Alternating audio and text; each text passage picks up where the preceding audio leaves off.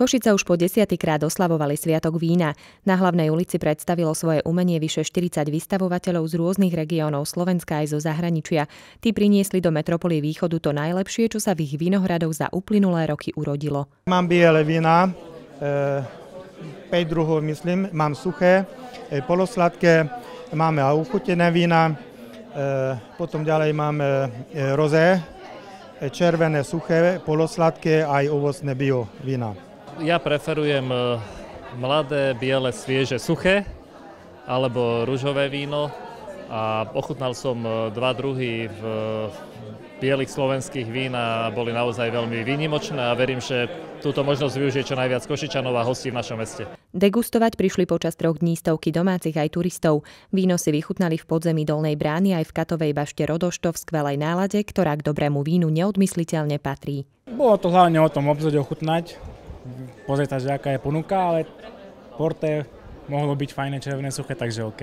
Sme začali na začiatku, potom sme si dali burčiak a ideme hlavne po tých vinárstvách, nie po tých takých predajcov nejakých tých vecí, ale tie vinárstva by sme chceli asi vyskúšať. Titul absolútneho víťaza získalo víno, ktoré bolo vytvorené špeciálne na počesť mesta. Tento Cabernet Sauvignon bol naozaj pripravený na takéto ľahké letné, teplejšie dni, nakoľko obsahuje menej alkoholu, má iba 9,5% alkoholu. Je to červená odroda, ktorá je ale urobená do rúžovej tou kratšou maceráciou tých bobul a má taký ten podmotív, že víno na pitie aj milovanie. Dneska trošku ako keby sa strácalo u niektorých ľudí takéto pochopenie takej radosti zo života.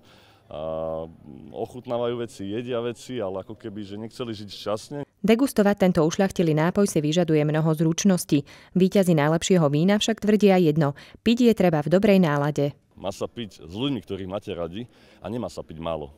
To je najväčšia chyba, keď ľudia hovoria, že oni si dávajú iba ten pohár vína, alebo si dajú ten 2-2 poháre vína.